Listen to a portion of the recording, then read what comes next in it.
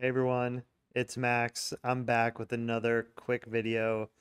Uh, I've been starting a series of really short videos about uh, interesting ionic projects, ionic related projects, capacitor, whatever, just in the ionic family. Things I think are interesting, give you a little more context uh, around like what we're building, where we're going, why we're doing what we're doing. So last time I did a video on the new Google Maps plugin that we released for capacitor, and today I'm doing a quick one on the capacitor configure project, which is something you may or may not have heard of. Uh, but it's a it's actually a project that I built that uh, I think could be really really useful to you as an app developer, but also to plugin authors, etc. So I want to quickly run through what this is, what it does, how to use it, and uh, where we're going with it. So I think everyone knows like with an app comes a lot of configuration tasks that you have to do, right? You need to maybe change the name of the package, update the bundle ID, um, increment build numbers, all these things, right? And doing that manually is fine if you have just if you do it every once in a while. But if you're building something complicated, if you're building lots of apps, if you're changing configuration a lot, if you're building like a white labeled app, you need to automate the configuration of that app. Uh, if you're if you're building a plugin, if you're installing a plugin, you probably want to automate the configuration of the project to make the plugin work. Um, and so there's a lot of these configuration automation tasks that app developers have, especially at scale. Uh, plugin authors, like I said, they need to often modify their users' apps. And in the Cordova world, we're pretty used to that with the plugin XML and the variables and all that. But in Capacitor, Capacitor hasn't really had that until recently.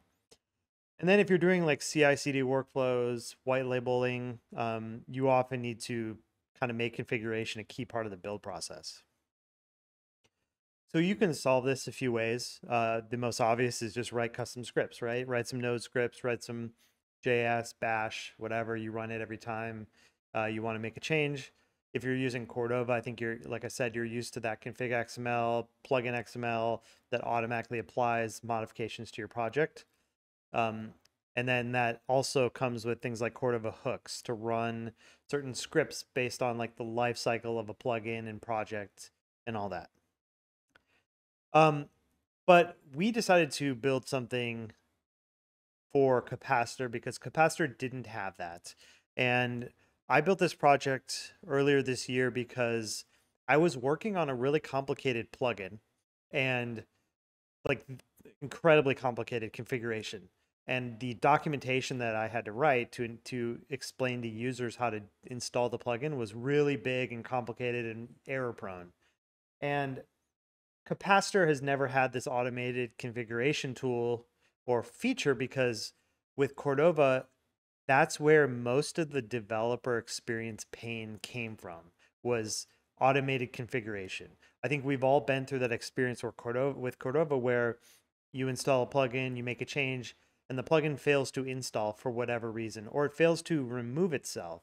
And hey, there's a dangling file here, or you know this symbol's defined twice, uh, etc. And I think with hooks, especially, hooks are probably one of the biggest sources of plugin install issues that developers have.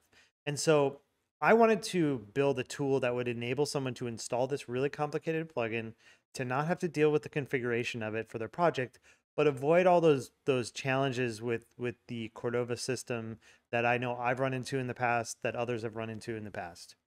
And then along the way, it became something I think much more interesting than I initially anticipated and I'm really really excited about it and I actually think it's going to be really really useful once more people realize this tool is out there and what it can do and and and I think part of the reason why it, it's been a little bit slower going right now is because the documentation hasn't been there and it's pretty complicated. So I'm working on that and I'll talk about that in a bit. So let's talk about Capacitor Configure. Capacitor Configure is a tool that I released uh, probably like a month or two ago. And it's basically at the core, it's a configuration tool and API for managing native iOS and Android projects. So it will automate the configuration of your actual Xcode project, your actual like Android Android Studio project. And it has two ways that you can use it. You can use it through a tool that is configuration driven. So YAML, uh, you write a YAML file or you use a YAML file and it specifies all the changes to make to a native iOS and Android project. Or you can use the API, which the tool uses under the hood, to actually write custom scripts, whatever you want to do. But it abstracts away essentially the native iOS and Android projects and exposes them through a nice clean interface.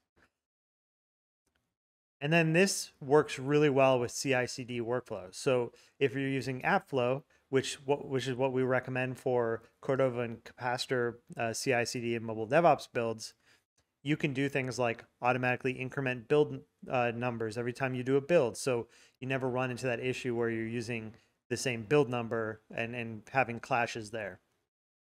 If you want to check this out, go to github.com slash ionic team slash capacitor configure dash configure. So what can this tool do? Because it can actually do a lot and I'm adding tons of features to it all the time. Uh, on iOS, you can configure all the basic build settings of your app. So you can modify uh, different uh, build flags. You can change bundle IDs, um, version numbers, build numbers, all these things. And it's smart and it knows how to uh, support different uh, app targets and and build types. So you can have like a a Apple Watch target, and then the release build it can it can enable you to customize things at that granular of level. Um, so it's really friendly for multi-target builds. It supports all that. Um, it can also modify things like plist files, the PBX project settings, which is how it modifies all those build settings, JSON files, entitlements, uh, random XML files. It can update frameworks. So it can really do a lot. And I'll show you an example later that goes through and use, uses a lot of these features. On Android, there's actually some really powerful capabilities that uh, I want to call out. First of all, it supports obviously like updating manifest files, and it supports either you know modifying attributes, injecting new XML snippets, or overriding existing existing nodes and and and subtrees. One of the really cool things is it supports modifying Gradle files. So if you've if you've written a Cordova plugin in the past, you know that you can insert Gradle code, but it, but but the way that that works is it pastes your code in a very specific place in a very specific file, and unfortunately, you can't go and modify something like this specific uh, configuration in the root level build.gradle. It doesn't have that granular of capability. This is different. This actually supports modifying the arbitrary Gradle files uh, as long as they're written in Groovy. So it doesn't support Kotlin-based Gradle files yet. That's on the roadmap. But you can do something like actually modify the value of a specific variable. And that's because I, I built a Gradle AST parser that will parse the Gradle file, build this AST, abstract, abstract syntax tree, and let you actually modify in place uh, intelligently actual snippets of Gradle code. And so this is really, really powerful. Uh, you can do a lot with it, and I'm really excited about that. Uh, you can update resource files, uh, put new ones in, modify old ones. You can rename packages, and it'll actually rename the packages on disk. So you want to change the name of the Java Java package for your project, it will go and you know actually rename the the whole uh, tree of directories, and then update the packages in Java and all that. It supports modifying JSON files. So imagine like Google services.json, you can modify that. Properties files, I just added support for that. So like, you know, Gradle.properties um, and some other things. So look at capacitor configure as just this interface, this tool, this API that can modify and understand all these complexities of traditional native iOS and Android projects. So just to kind of show you what the configure tool does, uh, it is a uh, a YAML based configuration driven tool and you can run it as a command line tool essentially. And so you you basically run npx uh, capacitor slash configure run and then you pass it a YAML file. And this YAML file is uh, YAML is a subset, a superset of JSON. And so it's, you know, should be pretty familiar syntax. It's easy to learn, but it's basically like a just a configuration file. And so if we look at this example here on the right, we can see that we we start by defining some variables that the tool is going to understand. So we know bundle ID, uppercase, bundle underscore ID, and package name are two variables. And these can be supplied through environment variables, which is really, really useful. So if there's not a value supplied though, it falls back to a default value. And then under that, we define the platforms and the values, configuration values we're going to use for each one. so on iOS, we are specifying different targets and we're going to specify for the app target, which is the main app tar target. Uh, we're going to set the bundle ID to the value of that variable that was passed in. We're going to set the version to that version, the build number, the product name, the display name. We're going to update some build settings, and that will actually update the enable bitcode and strip Swift symbols uh, build settings for the app target. And we didn't specify a different build type, so it will do it for both debug and release. But, but we could specify just settings for debug and just settings for release builds. And then we're going to update a plist file, the info plist file. Uh, we're going to uh, and uh, insert these various entries. So we're going to set the NS Face ID usage description, update our URL types and URL schemes. And then we're going to update some entitlements down lower, and then it trails off here, but you get the idea. We, we There's a number of these features that are exposed in this configuration file that you can then use YAML to overwrite. And then, and then when someone runs this command, it will go and actually update your project and it has an interactive run. So it will let you, which I'll show you in the demo in a second, it will let you go and confirm that you actually want to make those pro- those changes against your project before you do it. So that's one part of it. The second part of it is the capacitor slash project API. And the configuration tool, this tool uses this API under the hood. So you can think of this as just a convenient way to use this API. Uh, but this is a JS slash Node API. Uh, it's called uh, the capacitor project API. And it has a class called capacitor project that then just exposes a whole bunch of functionality that you can access. And this is not even remotely exhaustive. You got to check out the docs if you want to see all the all the methods and everything. But kind of going back to our YAML file, we saw that we can update the build number, the product name, the display name. And if we look towards the iOS example here, we can see that we have some of the same things here, like project.ios set version, um, increment the build, uh, all these things.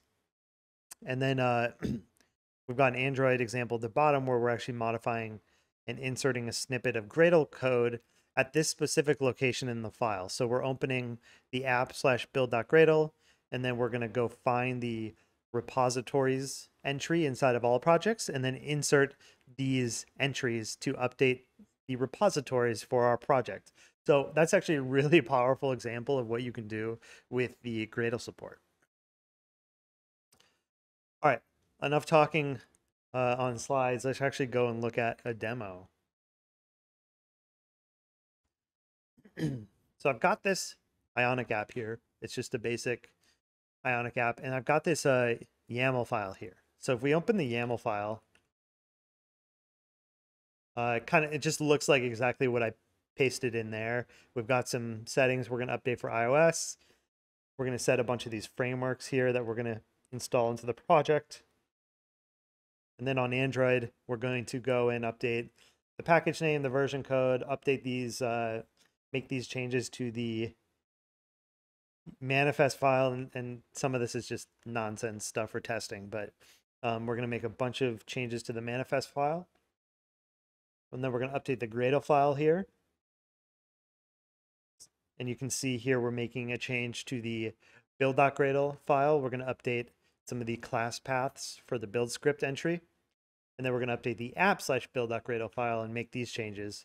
And so you can just tell if you've ever done, you know, Cordova's uh, Gradle support, this is considerably more um, complex and capable. It can actually go and modify your actual Gradle source, which is pretty cool.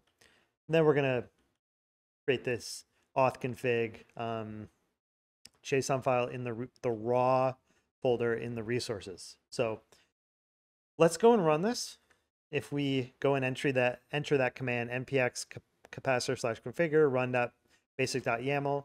This is going to go and read this file and step through and, and figure out all the changes that are going to be made here and print that out to us so we can see these are the changes that it plans to make kind of exactly what i said. It gives you a little bit of a preview uh, so you can make sure it's actually what you want to do and then it's going to tell you the files that it will actually go and modify.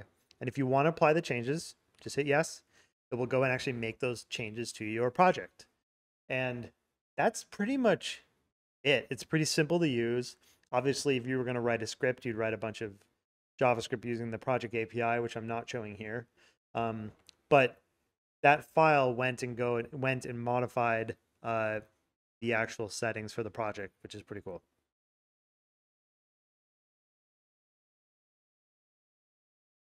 So if you're a plugin author, I think you absolutely should be using this if you have a complicated plugin.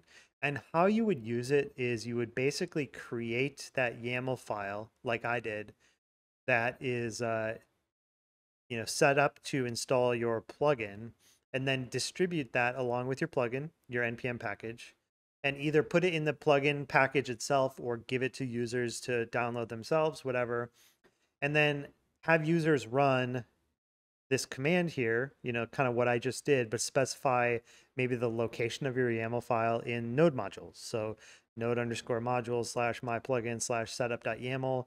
They could specify, you know, environment variables. So a lot of Cordova plugins have variables and Cordova has its own system for doing the variables, but we just use environment variables. So if that environment variable exists, it will pull that down. And so have users specify the variables. It's basically the same thing and then they have automated configuration and setup of their of your plugin in their app.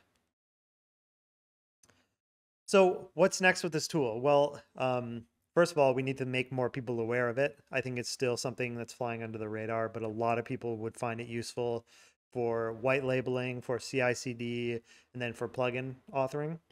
Uh, but we plan to actually bring this to every mobile technology out there. I kind of mentioned that one of the cool things about it is it's just a front end that modifies native iOS and Android projects. So in theory, it can work with every single mobile technology in the market, uh, you know, whether or not you used Capacitor or not. And so that's really exciting to us. We're, we're looking into how to do that. Um, that will probably mean uh, the name might change, get a fun logo, but we're going to be working on a new website, better documentation, uh, the docs are still missing um, some stuff here and there, but uh, you know, if you have questions, any issues, uh, I, I'm actively monitoring and working on this on GitHub. So ask ask a question, file an issue, and I'm happy to help. Uh, some of the next things on the roadmap are adding and modifying source files. So if you want to put a source file into someone's project, working on that, and then uh, adding support for Kotlin-based Gradle files. So right now, the Gradle tool only supports Groovy-based Gradle files. So the Kotlin ones, uh, that is a, a longer-term roadmap item, but definitely something I want to do. So uh, let me know. Give it a try. If you have any feedback or questions, again, file an issue on that repo. I would love the discussion. Uh, don't worry about filling out a template or anything. I'm, it's it's you know still early, so um, it's not formalized quite like that, and I'd love to have the discussion and uh, let me know what you think. And I hope hope it's useful and I hope you enjoy the tool. Thanks.